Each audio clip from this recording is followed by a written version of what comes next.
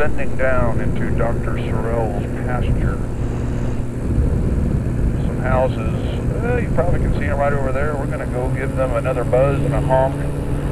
They seem to get a charge out of that. Boy, it's a lot cooler you get down here in this swale, or whatever you call it.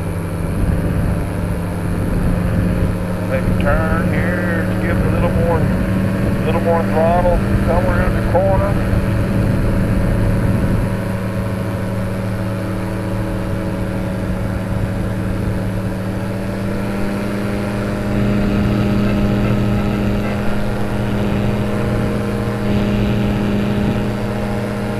Yeah, that's fine.